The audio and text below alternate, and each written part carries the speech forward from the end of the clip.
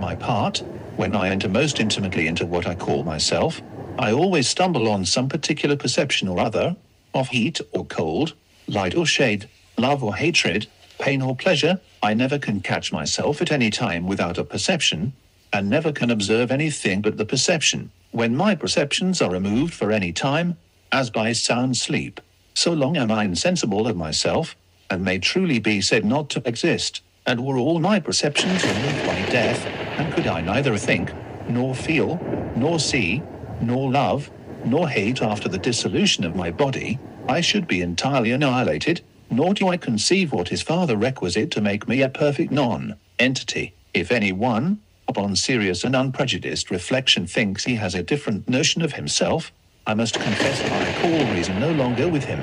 All I can allow him is that he may be in the right as well as I, and that we are essentially different in this particular. He may, perhaps, perceive something simple and continued, which he calls himself, though I am certain there is no such principle in me.